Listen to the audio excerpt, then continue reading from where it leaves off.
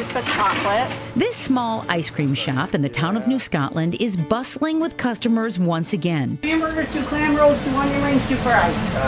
This summertime staple serves up juicy burgers, crispy fries, battered clam rolls, and gourmet ice cream. Ooh, that looks yummy. But the Tastee Treat shop off of Route 85 serves up so much more than delicious soft serve. Here you go, cherry chocolate chunk. It offers a taste of nostalgia. This place establishes so many memories that like it makes you want to come back. Like you think happy thoughts when you think of Tastee Treat. I used to come here almost every weekend as a kid, and this was easily my favorite spot to go. As locals flocked to this seasonal favorite, there were concerns its glory days were over. It had been closed and put up for sale with little interest. That is, until Jeffrey Clark came along. The chocolate vanilla twist. That's my favorite, yeah. He's the new owner and a lifelong local.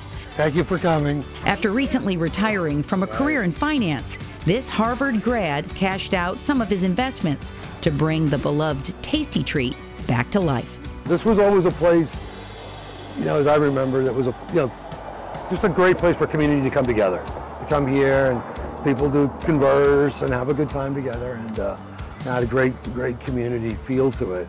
And I want to bring that back. Before Clark bought this, it sat vacant for two years. It shut down in the pandemic, and then the owner was diagnosed with cancer and forced to sell.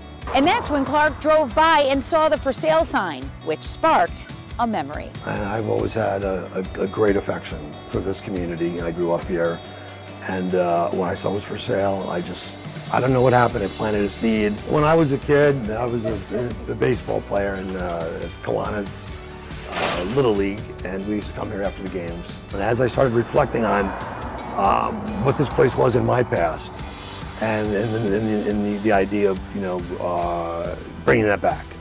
Well, that idea is now becoming a reality. A place where you'll once again find kids after ball games, neighbors greeting neighbors, and parents spending time with their kids. I'm gonna do the same exact thing, make those memories, and you know, hopefully, it's awesome that he's doing that, open this place back up. For Clark, How's the ice cream? that community connection is the cherry on top. You know, people come here and interact um, with other people in the community, or even outside of this immediate community, and, uh, and enjoy each other. And for me, that's just extremely rewarding because I'm part of it. Julie Chapman, Spectrum News.